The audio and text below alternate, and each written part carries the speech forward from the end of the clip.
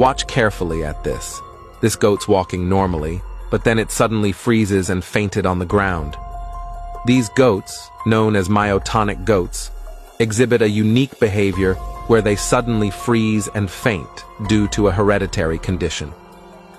This trait, selectively bred in the past, causes them to faint when they experience excitement or fear.